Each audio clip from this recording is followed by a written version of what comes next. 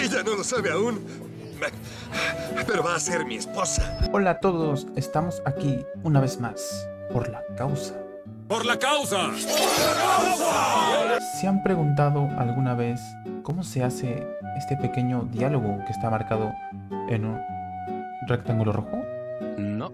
Yo tampoco sabía esto y resulta que es muy fácil. Seguro que a ustedes también les servirá.